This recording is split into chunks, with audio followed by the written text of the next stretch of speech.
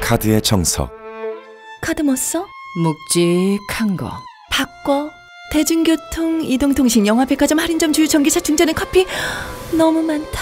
쓰는 만큼 포인트로 싹싹 쓸어 담는 게 정석이야. 아니, 카드 포인트는 받고 얹어서 추가 포인트까지 묵직한 게 정석이지. 둘 다 정석입니다. 카드의 정석 포인트. 우리 카드 간편 결제도 카드의 정석.